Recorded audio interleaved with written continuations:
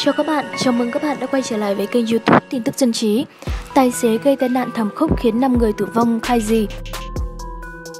Hiện tài xế Hà Văn Hoàng làm bản tường trình về vụ tai nạn thảm khốc mà Hoàng gây ra vào sáng nay, ngày 23 tháng 7. Đồng thời, cơ quan chức năng cũng đã kiểm tra ma túy đối với tượng đối tượng tài xế này. Xe tải mất phanh, thông tin với báo Dân trí về vụ việc tai nạn thảm khốc trên quốc lộ 5, đoạn đường qua địa bàn xã Cộng Hòa, huyện Kim Thành, tỉnh Hải Dương. Sáng nay, một lãnh đạo phòng cảnh sát giao thông công an tỉnh Hải Dương cho biết, hiện tài xế Hà Văn Hoàng đã có bản tường trình về vụ việc. Theo bản tường trình của tài xế Hoàng, chiếc xe tải gây tai nạn mới phải sửa phanh ở xã Cẩm Điền, huyện Cẩm Giàng, tỉnh Hải Dương. Tuy nhiên, việc chiếc phanh có liên quan tới vụ tai nạn hay không chưa được kết luận. Cũng trong chiều ngày 23 tháng 7, trao đổi với phóng viên, ông Vũ Đình Tĩnh, Chủ tịch Ủy ban Nhân dân huyện Kim Thành cho biết, sau khi xảy ra sự việc, Ủy ban Nhân dân huyện Kim Thành đã hỗ trợ các nạn nhân tử vong 5 triệu đồng trên một người. Ông Tĩnh cho biết thêm, lái xe tải là Hà Văn Hoàng đang bị tạm giữ tại trụ sở công an huyện Kim Thành để lấy lời khai, phục vụ công tác điều tra, làm rõ nguyên nhân vụ tai nạn. Bước đầu, tài xế Hoàng khai do tránh xe phía trước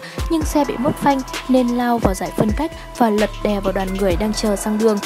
Họp báo thông tin về 3 vụ tai nạn liên tiếp sau khi xảy ra 3 vụ tai nạn giao thông đặc biệt nghiêm trọng ở địa bàn huyện Kim Thành, tỉnh Hải Dương. Sáng nay làm 7 người tử vong, các đơn vị chức năng đã tổ chức buổi họp báo về vụ việc. Tham gia buổi họp báo có Bộ trưởng Bộ Giao thông Vận tải Nguyễn Văn Thể, ông Khuất Việt Hùng, Phó Chủ tịch chuyên trách Ủy ban An toàn Giao thông Quốc gia cùng với lãnh đạo tỉnh Hải Dương. Tại buổi họp báo, Bộ trưởng Bộ Giao thông Vận tải ông Nguyễn Văn Thể chia sẻ, thay mặt Bộ Giao thông Vận tải, Ủy ban An toàn Giao thông Quốc gia, chúng tôi gửi lời chia buồn tới các gia đình có nạn nhân tử vong và bị thương trong vụ tai nạn giao thông vừa qua. Tôi đề nghị Ban An toàn Giao thông các cấp đi thăm viếng gia đình nạn nhân tử vong và bị thương để giảm bớt đau buồn. Cũng tại buổi họp báo, ông Thể đưa ra một số lời đề nghị. Thứ nhất là kiểm tra ngoài hiện trường kết hợp camera an ninh của người dân để xác minh rõ nguyên nhân các xe va chạm với nhau. Thứ hai, kiểm tra lái xe khi vi phạm như nồng độ cồn, ma túy hay không. Thứ ba, đề nghị phối hợp với các đơn vị đăng kiểm tiến hành kiểm tra các phương tiện đăng ký đăng kiểm.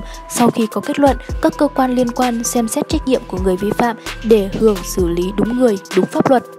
Bộ trưởng Giao thông Vận tải cho biết, khu vực huyện Kim Thành thường xuyên xảy ra những vụ tai nạn giao thông nghiêm trọng. Đây là đoạn đường hết sức nguy hiểm. Qua vụ việc lần này, tôi giao Tổng cục Đường bộ phối hợp với Ban An toàn Giao thông các cấp kiểm tra tình trạng biển báo, tiến hành khảo sát các ngã rẽ và điều chỉnh xung quanh hai bên đường cho hợp lý, đề nghị triển khai khắc phục đoạn đường lồi lõm, ổ gà, bố trí thiết bị phản quang có điểm trọng yếu, bổ sung gờ giảm sóc, làm sao để lái xe khi đến những chỗ như đó để cảm thấy đó là nguy hiểm. Bộ trưởng Bộ Giao thông Vận tải phát biểu các bạn nhớ like và subscribe kênh YouTube tin tức dân trí để cập nhật tin tức mới nhất mỗi ngày các bạn nhé. Thành phố Hồ Chí Minh tổng kiểm tra tất cả các loại xe lưu thông trên đường